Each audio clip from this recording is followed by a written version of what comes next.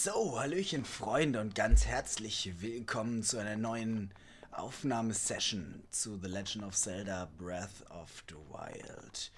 Wir sind hier oben auf diesem Aussichtsturm stehen geblieben und ich würde sagen, wir schauen doch einfach nochmal hier die Aussicht an. Ich meine, schaut euch das an. Es ist so wunderschön. Ich liebe dieses Spiel.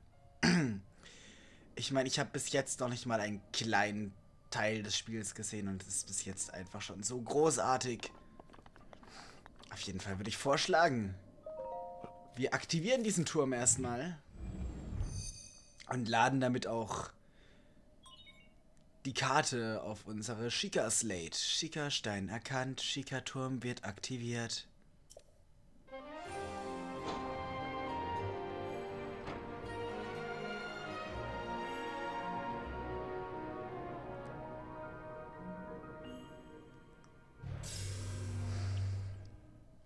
Was ich mich aber auch so frag, Datenübertragung beginnt.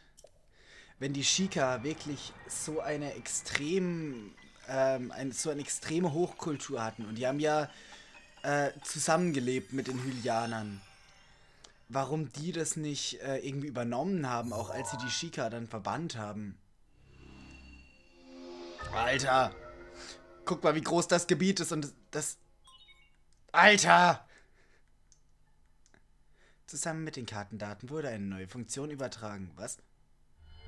Was? Der Shika-Sensor Schreine suchen. Wenn du dich Schreien näherst, die du noch nicht besucht hast, schlägt der Sensor aus. Geh in die Richtung, in die die Ausschläge am stärksten sind. Drücke auf den Kartenbildschirm Y, um ihn ein- oder auszuschalten.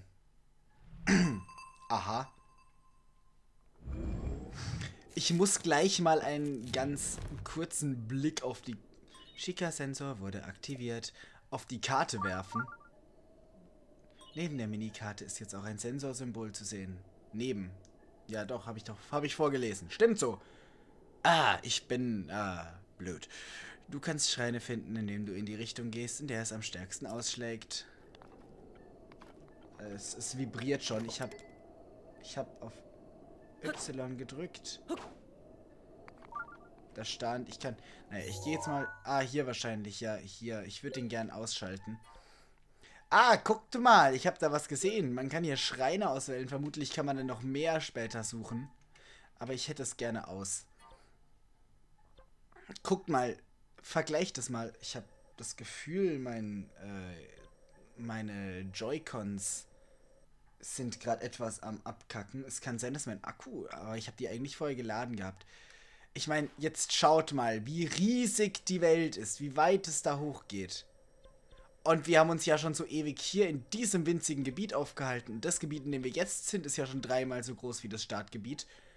Und es ist auch nur ein winziger Teil von dem allen hier. Ah, das ist so krass. Auf jeden Fall würde ich äh, sagen, machen wir uns wieder auf, machen wir uns wieder zum Abstieg hier vom Turm und auf in Richtung Kakariko. Kannst los. Nein! Alter! Link! Bist du des Wahnsinns? Also offensichtlich ja. Ah, jetzt darf ich wieder was essen, ne? Weil sonst, sonst nippel ich noch ab. Ich muss auch, wenn wir irgendwo die Möglichkeit finden, was äh, zu essen zu kochen. Ich hätte vielleicht einfach ähm, mit meinem Segel in die Richtung springen sollen. Vielleicht werden wir dann schneller nach Kakariko gekommen. Das befindet sich auf jeden Fall... Moment, da sind die Twin Peaks, ne? Ja. Und hier geht es zwischen den Twin Peaks durch. Da ist... Ah ja, jetzt habe ich wieder... Ich habe die Orientierung wieder. Ich habe sie nur ganz kurz verloren. Ich würde nur wirklich mal ganz gern da drüben in das Lager der Bockblins da drüben. Octorok!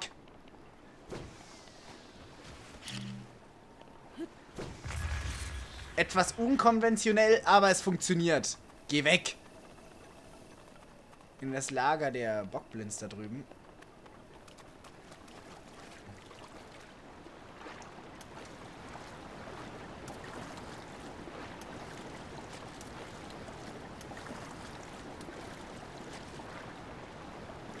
Ach doch, das schaffen wir. Ich hatte gerade ein bisschen Angst, dass wir es nicht schaffen und untergehen. Da kann ich Essen kochen, wenn wir Feuer haben. Nur scheint es hier kein Feuer zu geben. Ah, doch, ich höre Feuer. Ein Feuerstein, wenn man vom Teufel spricht. Wenn man mit einem Gegenstand aus Metall darauf schlägt, dann stehen Funken, die Feuerholze in der Nähe entzünden. Praktisch, aber nach einem Schlag geht er kaputt. Da ist übrigens auch Feuer, ne? Ich würde gern die Fackel einfach aufheben. Ah, ich kann auch... Ich werf mal das Ding da weg. Aber ich kann auch einfach hier den... Ähm,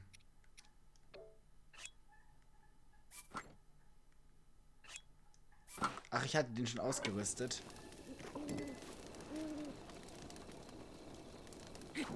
Ja, oder so, ne? Steck ihn weg, Link. Steck ihn weg. Link, steck... Danke. so, äh, Gourmet-Chefkoch Link äh, wird uns jetzt wieder was Schönes zaubern. Äh, Fleisch kann man mit Pilzen ist immer geil. Und äh, dazu... Hm, was kann man dazu noch machen? Ach, das wird schon. Wird schon schmecken. Auf gut Glück. Wenn da oben noch Bockflints sind, die denken sich dann auch so. Wer macht da, wer benutzt da unseren, unseren Grill? Fleischspieß mit Pilzen, üppiger Spieß mit frischem Fleisch und verschiedensten Geschenken der Natur. Habe ich das richtig gesehen? Heilt es fünfeinhalb Herzen?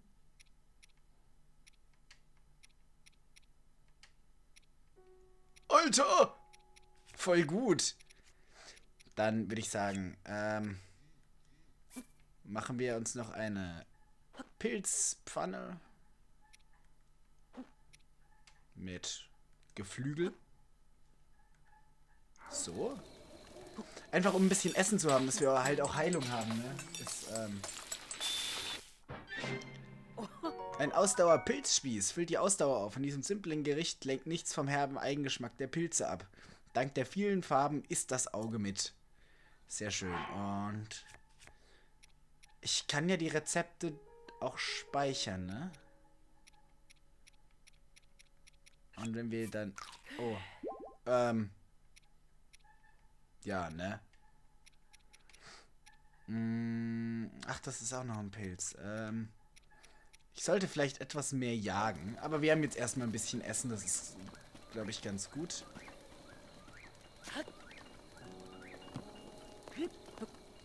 Komme ich so nicht hoch. Komme ich?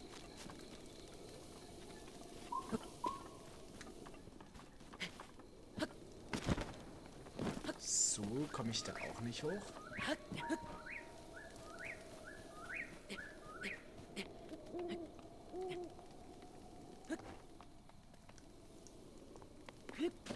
So komme ich darüber. Wunderbar. Was das uns jetzt gebracht hat, ich äh, weiß es nicht. Potenziell gar nichts.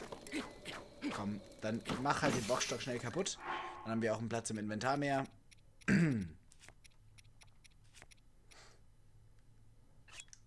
Dann nehme ich den Reise-Zweihänder so lang. Wupp. Ich hätte gerne eine Angel. Gibt's hier, hoffentlich gibt's, kann man hier wieder angeln. Das ist ja eigentlich schon recht normal, dass man in Zelda angeln kann. Das wäre seltsam, wenn man es plötzlich nicht mehr könnte.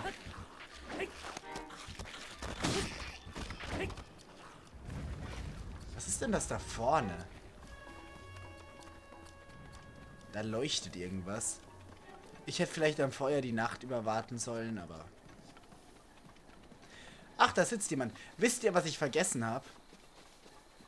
Hinter dem letzten Schrein, den wir gemacht haben, war ja noch der Stein mit der Schatzkiste. Den hätten wir vielleicht holen sollen. Da hat doch was geleuchtet. Das kann ich doch bestimmt auch... Das wollte ich nicht. Sondern das Stasis-Modul. Aber dann nehme ich eine andere Waffe, mit der ich einfach draufknüppeln kann. Hier. Dich.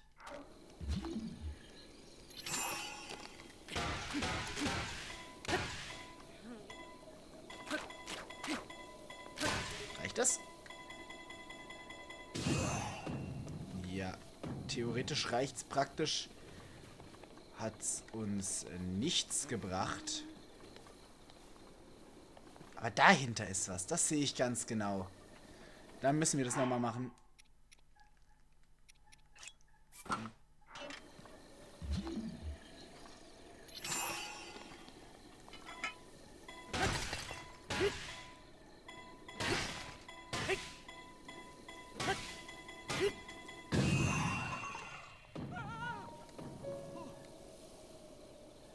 Ich wollte dich nicht erschrecken, sorry. Hä, und was war da jetzt dahinter? Hallo, na du? Oh, was ist du? Siehst aus, als könntest du Salz gebrauchen. Hast du ein Glück? Außer Fleisch biete ich nämlich auch Steinsalz an. Kauf doch einfach von beidem was. Mein Fleisch ist von feinster Qualität. Was auch immer du nimmst, du liegst immer richtig. Ah. Edelwild und Edelgeflügel. Ja, wunderbar. Aber kaufst du auch an?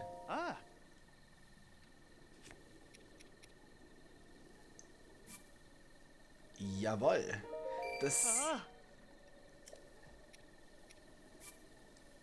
Ich habe gehört, das ist so eigentlich das Gängigste an Rubine zu kommen, einfach weil es eben diese ganzen Gräser nicht mehr gibt, die man, ähm,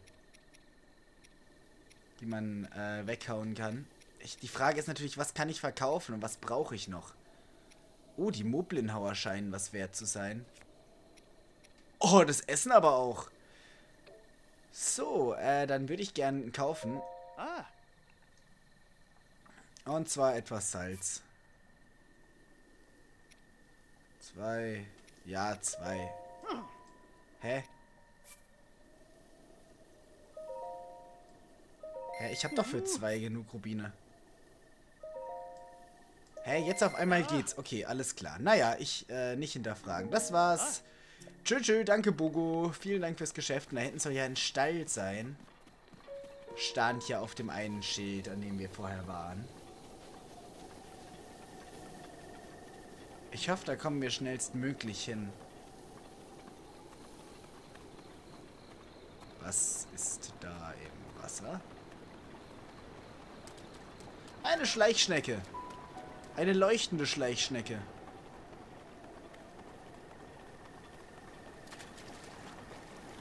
Moment. Ja, stimmt, hier sind immer noch Strömungen. Äh. Ah, ich dachte gerade, da kann ich einen Fisch angeln, aber die sind dann doch zu schnell weg. Da hinten ist ein Stall.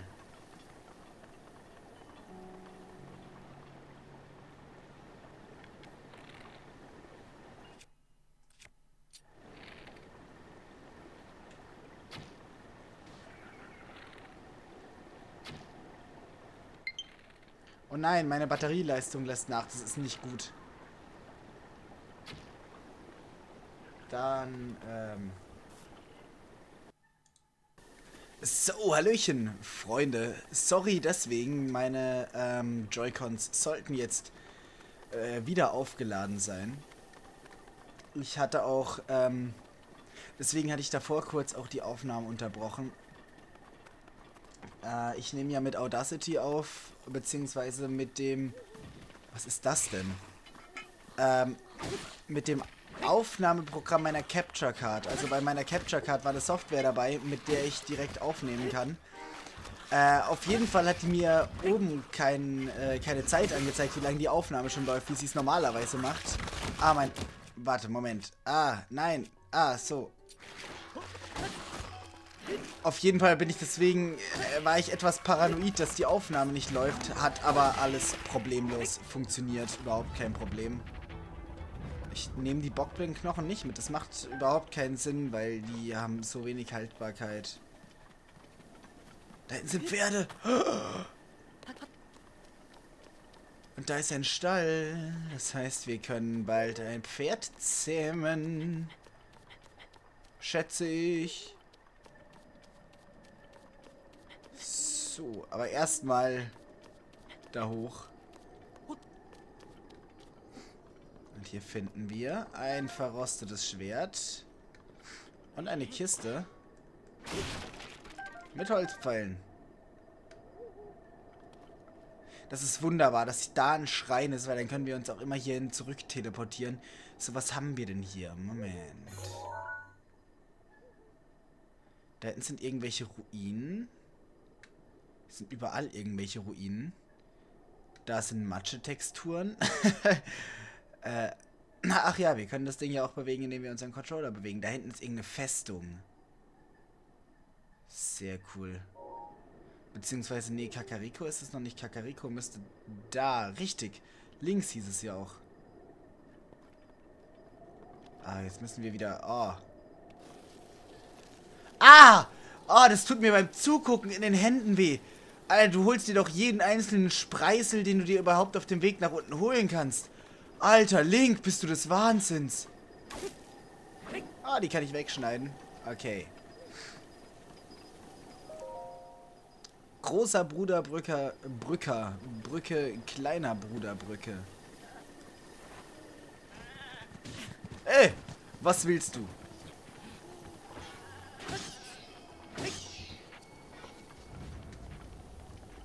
Ah, ich sehe.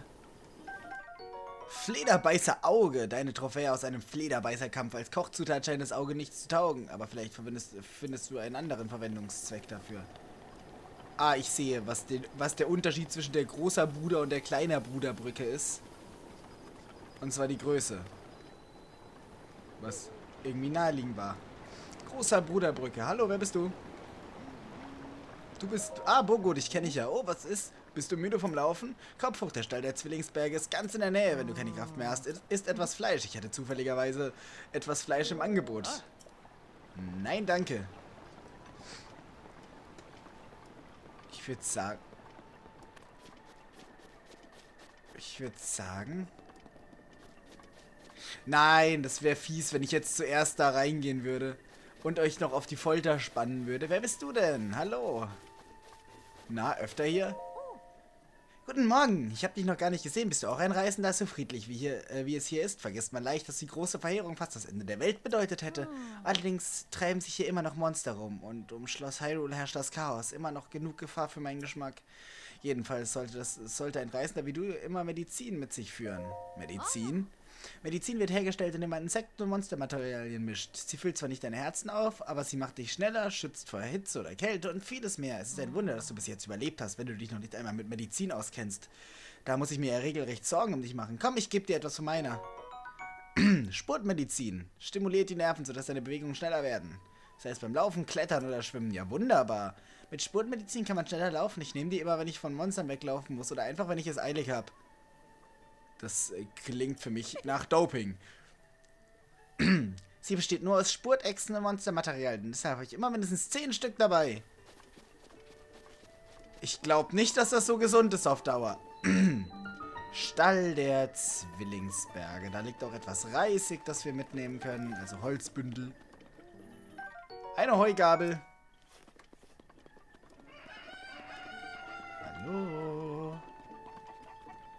Na? Ach, ist das schön hier. Richtig idyllisch. Oh, du bist so... Oh, so ein süßes Hundi. Oh, wer ist ein feiner Junge? Oh, du bist ein feiner Junge. Seht ihr das? Link guckt dann auch automatisch runter zu ihm und so. Also, Link äh, passt seine Bewegungen auch immer an. Äh, seine, seine, seine, seine Kopfhaltung und so. Die Kopfbewegung. Na du, Muhun. Oh, Verzeihung, ich war in Gedanken und hab dich gar nicht bemerkt. Bitte entschuldige. Ich forsche Tag und Nacht, um dem Phänomen des Blutmonds auf die Spur zu kommen. Oh, das kenne ich. Das Blut... Was? Wie? Das kennst du nicht? Das geht ja nicht an. Das kann so nicht angehen. Hör mir mal zu, Junge. Es begann am Tag der Verheerung. Seitdem zeigt sich in gewissen Nächten ein roter Vollmond am Himmel und das ganz unabhängig von der eigentlichen Mondphase. Um Mitternacht färbt sich dann der gesamte Himmel blutrot. Zu diesem Zeitpunkt erheben sich alle Monster, die eigentlich getötet sein sollten, und werden neu beseelt. Das ist der Blutmond. Warum werden die Monster wiederbelebt und warum taucht wie aus dem Nichts ein roter Vollmond auf? Niemand hat eine Antwort für die Fragen. Es ist ein rätselhaftes Phänomen. Wenn du etwas über den Blutmond herausfindest, lass es mich bitte wissen. Aha, das ist dann wahrscheinlich ja, wahrscheinlich respawnen dann einfach die Monsterlager. Das wäre sehr naheliegend und wird dafür sorgen, dass die Welt nicht irgendwann total leer ist. Das finde ich cool. Willkommen im Stall der Zwillingsberge. Schön hier, oder? Man ahnt es nicht, aber die Verehrung hat diese Gegend einst an den Rand der Zerstörung gebracht. Vielleicht liegt es am Segen der Zwillingsberge. Auf jeden Fall ist hier alles wieder beim Alten. Sogar die Wildpferde sind hierhin zurückgekehrt und mit ihnen ist alles wieder aufgeblüht. Übrigens, wohin bist du unterwegs? Kakariko und Hateno liegen beide in der Nähe. Ach, Kakariko. Oh. Kakariko ist das Dorf des Shika-Stamms. Oh. Früher einmal sollten sie, äh, sollten sie Maschinen gebaut haben, die sich wie von Geisterhand bewegen konnten. Dadurch waren sie dem damaligen König ein Dorn im Auge. Sie wurden vertrieben und lebten von da, von da an im ganzen Land verstreut. Wenn du von hier aus deinen Weg nach Norden folgst, gelangst du zu einer großen Brücke, überquerst du sie, kommst du, kommst du weiter dem, äh, und folgst weiter dem Weg, sorry. Dann kommen bald die Tore von Kakariko in Sicht. Wenn du nach dem Weg fragen willst, nur keine Scheu, ich kenne mich hier aus. Dankeschön. Auch wenn hier alles wieder wie vorher aussieht, so hat die große Verheerung noch ihre Spuren hinterlassen. Besonders nachts treiben sich viele Monster herum, also sei auf der Hut. Na du! Hallo, willkommen in unserem Stall, wo du alles rund ums Pferd bekommst und dich auch selber ausruhen kannst. Ah, du bist das erste Mal hier, oder? Weißt du, wie Ställe funktionieren? Nein. Ah. Dann erkläre ich es dir mal eben.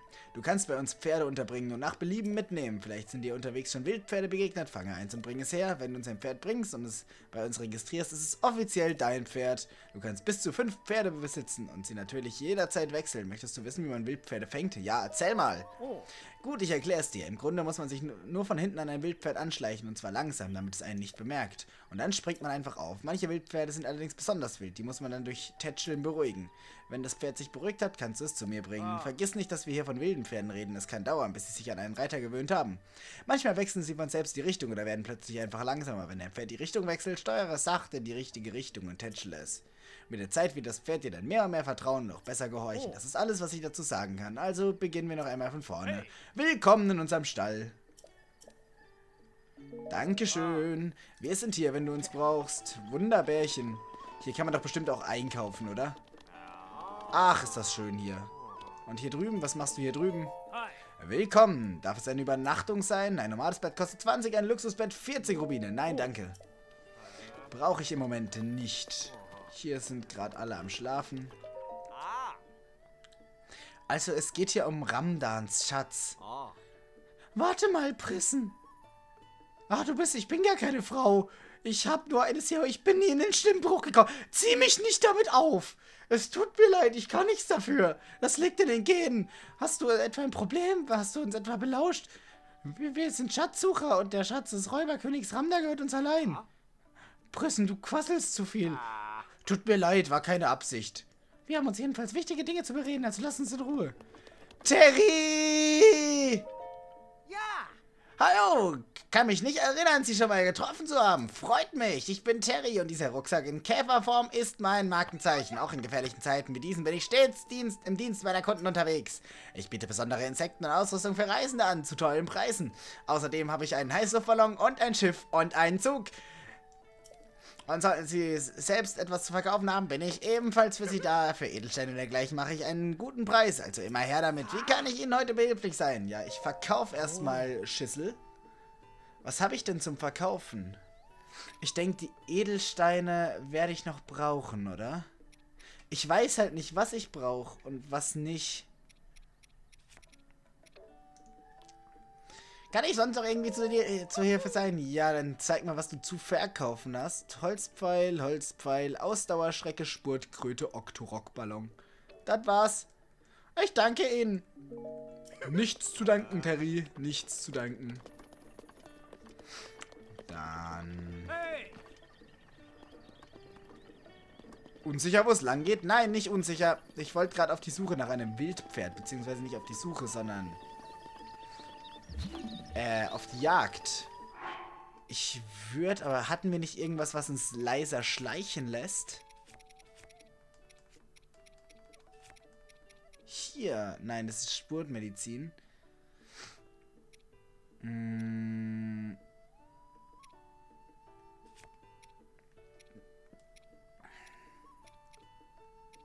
Moment, ich hab's gleich. Hier, Schleichglöckchen. Als Kochzutat verleiht sie die Fähigkeit, lautlos zu schleichen. Ich dachte gerade, der Huhn wäre ein Mensch. Da drüben war ja ein Topf, von dem wir kochen können. Das ist... Äpfel! Woo! Link der Gammler. Äh, in die Hand. Mach mal drei. Und dazu brauchen wir natürlich was Fleischiges. Im Idealfall einfach einen Fisch. Und zwar ein Ausdauerbarsch. Und... Ähm... Ähm... Ein Hyrule-Pilz. Warum nicht? Es macht total Spaß zu kochen. Es, es wirkt vielleicht nicht so, aber Dampffisch, feines Gericht, bei dem frischen Fisch im duftenden Blatt eines Wildkrauts gedämpft wird. Der hoffentlich auch die Fähigkeit hat, mich lautlos schleichen zu lassen. Nein. Ah, dann nochmal ähm, in die Hand, in die Hand, in die Hand und dazu ein Ausdauerling. Nein, am besten nur ein. Eins, zwei, drei und ein, um das Verhältnis aufrechtzuerhalten. Hoffentlich klappt es jetzt. Dampfpilze. Nein, es scheint nicht geklappt zu haben. Yay, nice. Ah, da vorne sind auch Wächter, aber ich gehe mal davon aus, dass sie hier in der Nähe von so einem friedlichen Ort nicht zwangsläufig aktiv werden. Oder etwa doch. Der auf jeden Fall nicht. Aber hier kriegen wir antike Sachen. Das ist schön. Also folgender Plan. Wir suchen uns jetzt zuerst ein Pferd. Da kriegen wir nichts. Der steckt ja auch bis zum Boden in der Erde. Wo waren die Pferde? Die waren irgendwo da, oder? Da hinten. Wir schnappen uns zuerst ein Pferd und dann gehen wir in den Schrein.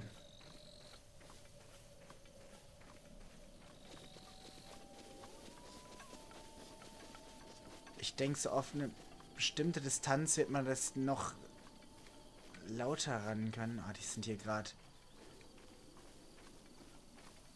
bisschen am Weiden. Welches will ich denn? Ich will das Blaue.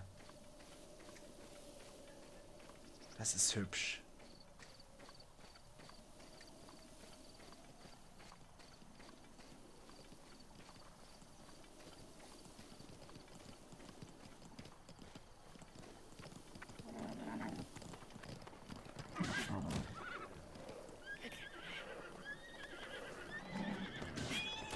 Ah, aber wir kommen noch nicht ganz drauf.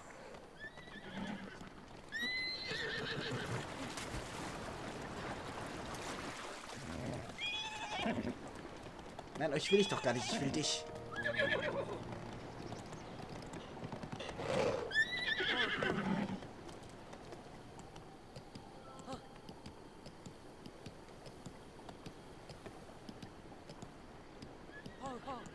So, das beruhigen wir jetzt erstmal. Und reiten es ein bisschen ein. Es ist total gut gemacht. Ja. Ist ein braves Pferd. Oh nein, alles gut. Alles gut.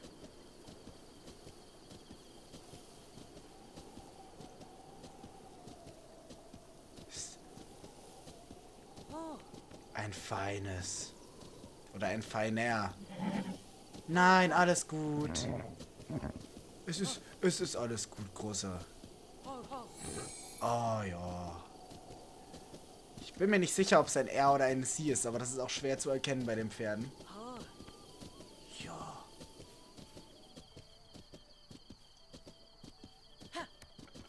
Geht das? Ja? Magst du es ein bisschen schneller? Ja. Das scheint sich aber schnell an uns gewöhnt zu haben.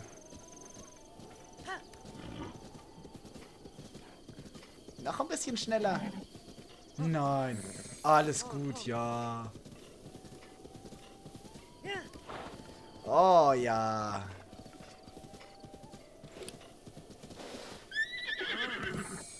Ja. Es sind noch mehr Wildpferde. Hier sind Ach, wie schön ist das bitte? Es ist auch so ein wunderschöner Ort, um einfach zu reiten. Hallo, na ihr?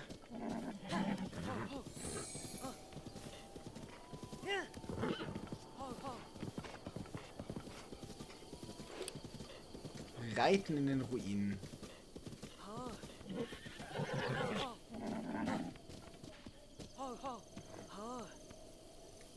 Ja, ist doch alles gut. Komm, auf.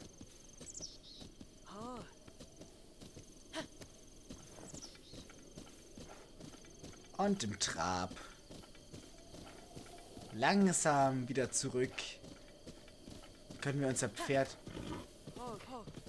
auch registrieren lassen. Wir brauchen dafür nur einen Namen.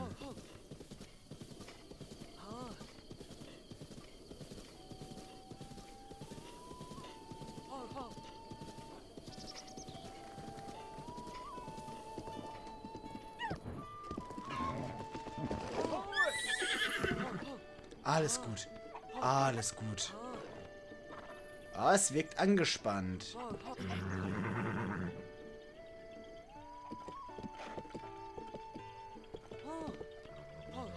Ist doch alles gut.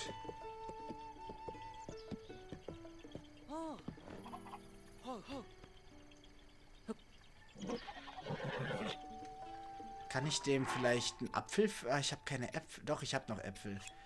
In die Hand? Willst du einen Apfel? Kann ich dem... Ja! Oh ja, das geht sogar. Wie cool. Komm. Ja? Willst du noch einen? Ja. Dass ich das nicht im Stehen tätscheln kann, finde ich ein bisschen doof. Ah, da hinten rennt Terry wieder rum. Komm, dann machen wir noch mal einen kleinen Ausritt. Auf geht's.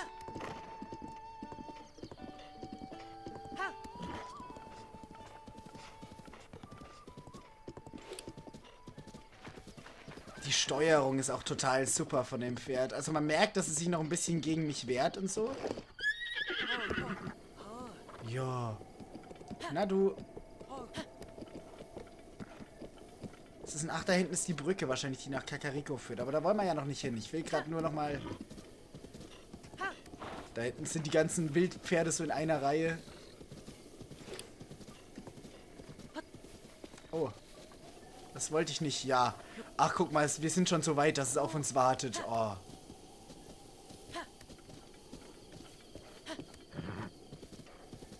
Die Roboter hier scheinen alle ähm, außer Betrieb zu sein.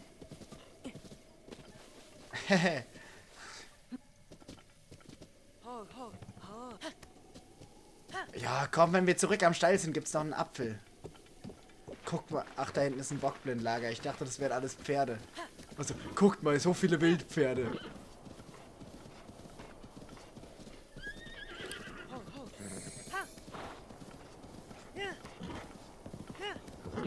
Auf! Maximale Energie! Nein! Oh. So wunderbar. Das Pferd scheint ziemlich eingeritten. Das heißt, wir müssten es eigentlich jetzt auch registrieren können.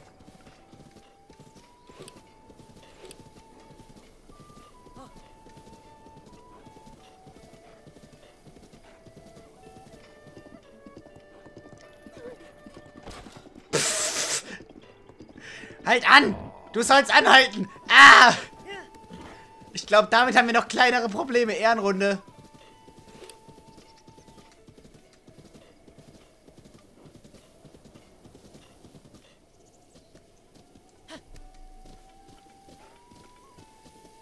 Ah, ich darf, ich darf L nicht nach hinten gedrückt halten, sondern ich muss es nach hinten antippen.